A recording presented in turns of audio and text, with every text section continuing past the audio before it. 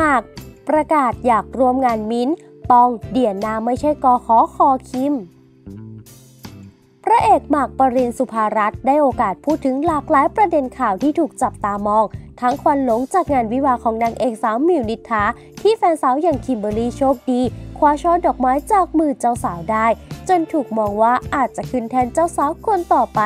ประเด็นภาพที่หนุ่มหมากได้ถ่ายร่วมกับเฟรมกับเพื่อนสาว รวมช่องอย่างมิ้นท์ชาลิดา ที่เคยมีปัญหาดราม่ากินเกาเหลาชามโตกันมาหลายปี และดราม่าจากทริปส่งท้ายปีเก่าต้อนรับปีใหม่ ที่สาวเดียนาโดนผู้ไม่หวังดีเข้าไปคอมเมนต์แซะหาว่าทำตัวเป็นกอขอคอหลังตามหมากคิมไปเที่ยวด้วยล่ะค่ะ โดยหนุ่มหมากนะคะเขียนชัดๆทีละประเด็นเอาไว้แล้วค่ะว่า เรื่องข่าวดี ตอนนี้ยังไม่มีที่คิมรับดอกไม้ได้ก็คิดว่า เพื่อนๆเขาก็เตรียมกันไว้ ที่แรกเรานึกว่ามิวน่าจะแรงเยอะโยนไปหลังๆเลย แต่ปรากฏว่ามิวก็แรงน้อยโยนปุ๊บลงตรงนั้น ก็ดีครับใครๆก็เข้ามาแสดงความยินดีกัน ทั้งงานเลยทีเดียว เราก็แบบเดี๋ยวเดี๋ยวอย่าพึ่งอย่าพึ่งรอพร้อมก่อน ตอนนี้ก็ทำงานเก็บเงินไปภายในปี 2 ปีนี้ไหมยังไม่รู้บอกก่อนก็ไม่เซอร์ไพรส์สิ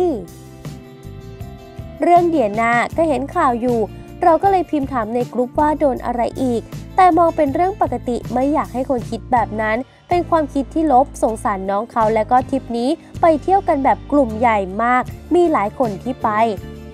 หลังจากที่ได้คุยกันแล้วน้องเขาก็ออกแนวชิลๆเพราะว่าเจอข่าวบ่อย เขาก็คงชินไปแล้วก็ชิลไปขำๆขอโทษด้วยที่มีข่าวนี้ เป็นฝีมือคนไม่ดีก็อยากให้คิดไปแบบนั้นดีกว่า